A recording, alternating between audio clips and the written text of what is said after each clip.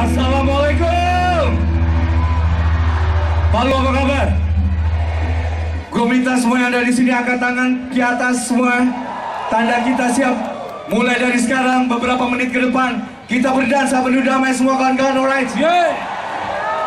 Sangat menyenangkan.